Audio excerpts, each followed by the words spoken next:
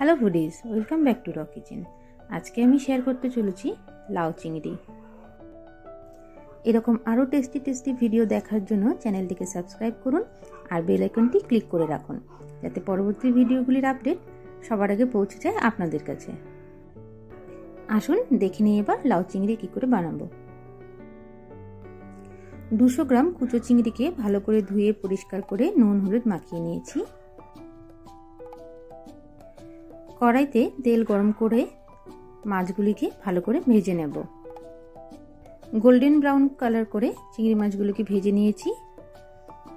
মাছগুলি ভাজা হয়ে গেছে, এবার আমি মাছগুলোকে তুলে নিচ্ছি। ওই তেলে হাফ চামচ কালো জিরে, তিনটে কাঁচা লঙ্কা ফোড়ন দিয়ে আগে থেকে কেটে রাখা লাউয়ের টুকরোগুলো এর মধ্যে দিয়ে দিচ্ছি। হাফ চামচ নুন আর হাফ চামচ হলুদ গুঁড়ো দিয়ে ভালো করে নেড়ে নেব।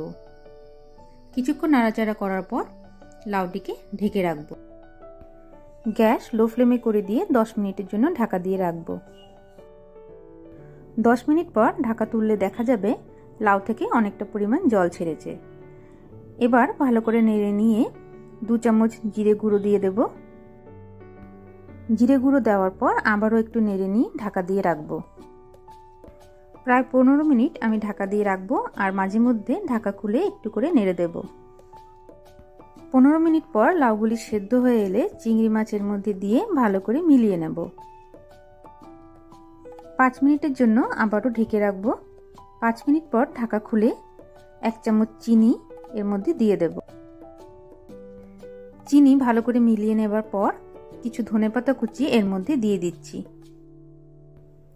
ব্যাস, তৈরি হয়ে গেছে আমার লাউ চিংড়ি। ফ্রেন্ডস আপনাদের ভিডিওটি পছন্দ হলে চ্যানেলটিকে সাবস্ক্রাইব করুন, লাইক করুন আর শেয়ার করুন। Thank you